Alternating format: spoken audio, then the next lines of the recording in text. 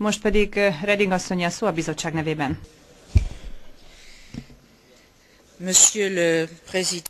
Elnök úr, tisztelt parlamenti képviselők, hosszú vitát folytattunk a magyarországi helyzetről és az európai helyzetről is. Ahogy az illik a parlamenti vitában, vagy az szokásos, különböző véleményeket fejeztek ki, fejtettek ki. De szerintem egy pontban egyetértünk, azt szeretnénk, hogy a magyar törvénykezés harmóniában, összhangban legyen az európai szerződésekkel és törvényekkel, valamint azokkal az értékekkel, amelyeket az előbbiek hordoznak. Ebben az értelemben lépett a bizottság.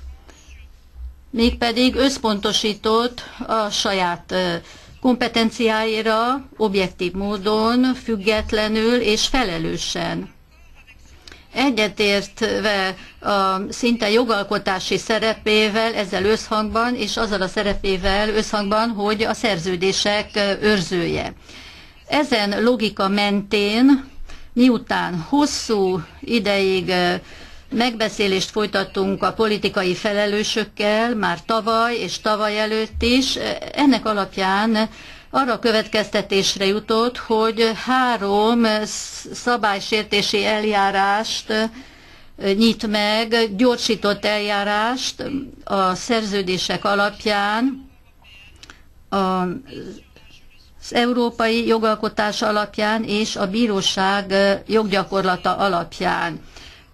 Három figyelmeztetés mellett és elindított folyamat mellett van még egy előzetes figyelmeztetési levél, ami az igazságszolgáltatás függetlenségéről szól.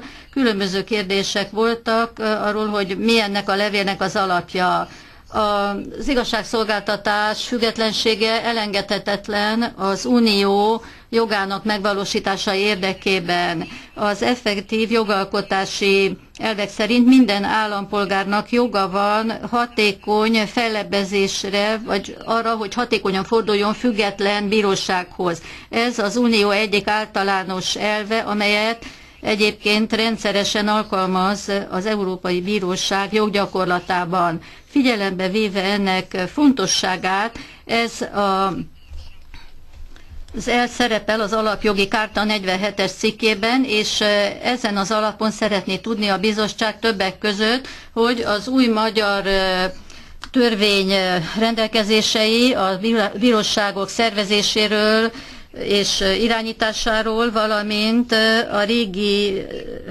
elnöke az alkotmánybíróságnak, vagyis az ő korai nyugalomba vonulása sérti-e az említett elveket, törvényeket. Azután voltak kérdések a médiumok függetlenségéről.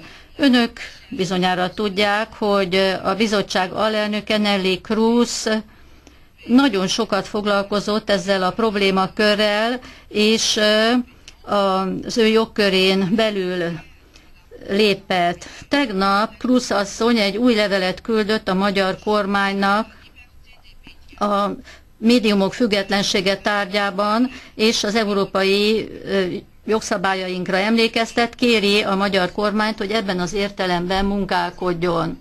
A harmadik elem, és szerintem ez igen fontos, a jövőbeli munkálatok számára is itt a parlamentben. Ez a főtitkár fellépésére vonatkozik, Jáglán főtitkár fellépésére, az Európa Tanács jogkörével kapcsolatosan a vallásszabadság, az igazságszolgáltatás és a sajtó szabadsága. Érdekes és érdemes lenne az Európa Tanácssal együttműködni azon a területen, amelyek a, amely az Európa Tanács jogkörét képezik, és Jagland főtitkár javasolta azt is, hogy a Velencei Bizottságot is vonják be ebbe a problém, problémakörbe.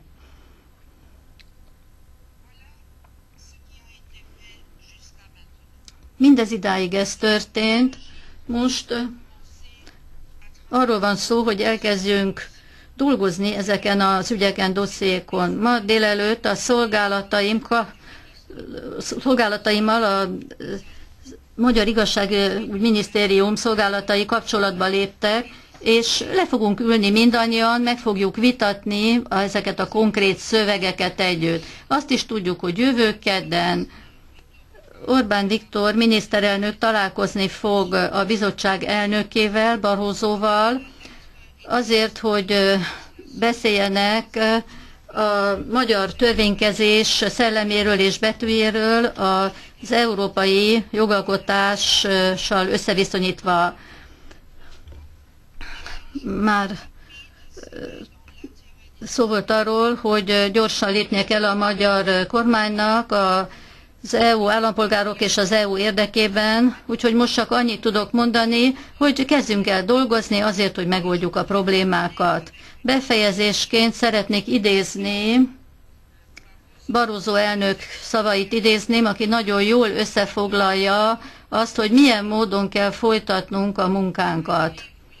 Úgy gondolom, hogy teljesen világosnak kell lennünk, ami az értékeket illeti, és szilárdnak, ami az elveket illeti, tisztességesnek a módszerek szempontjából, és igen érzékenynek kell lennünk a kommunikáció szempontjából. Köszönöm. Köszönöm szépen, Reding asszony, most pedig Vame miniszteri a szó a tanács nevében. Mr. President, Mr. Prime Tisztelt elnök úr, tisztelt miniszterelnök úr, tisztelt ház. Rövid leszek. Nagyon sok fontos téma merült fel ezen a nagyon fontos vitán. A tanács elnökeként feljegyeztem minden egyes megjegyzést és minden egyes aggályt.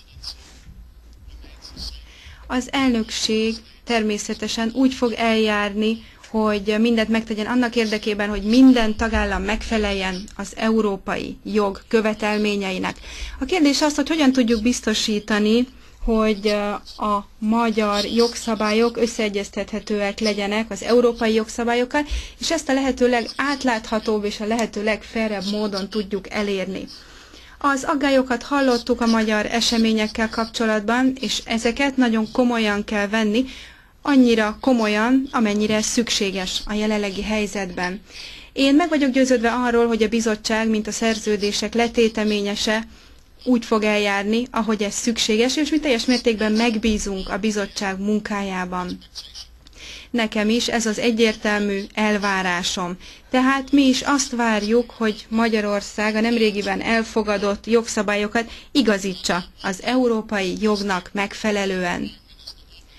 Üdvözlöm azt, hogy itt volt ma Orbán Viktor miniszterelnök úr, és hogy elmondta, hogy így fognak tenni, és azt mondta, hogy ezek a problémák gyorsan meg fognak oldódni. Az elnökség mindent megtesz annak érdekében, hogy ez tényleg gyorsan megtörténjen, mert ez Magyarország érdekes, ez az Európai Unió érdeke. Köszönöm. Köszönöm szépen, miniszter úr.